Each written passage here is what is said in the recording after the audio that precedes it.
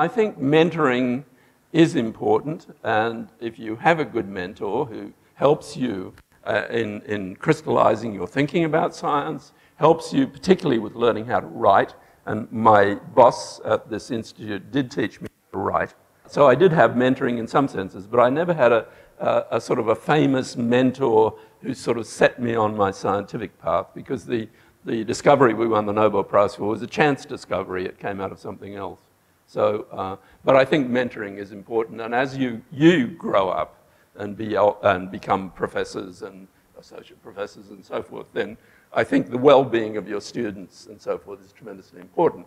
But it has to be a mentoring that challenges the student, uh, not a mentoring that actually hands everything on a plate because you have to grow intellectually. You have to grow in your capacity to generate ideas and see ideas through to some sort of reasonable conclusion.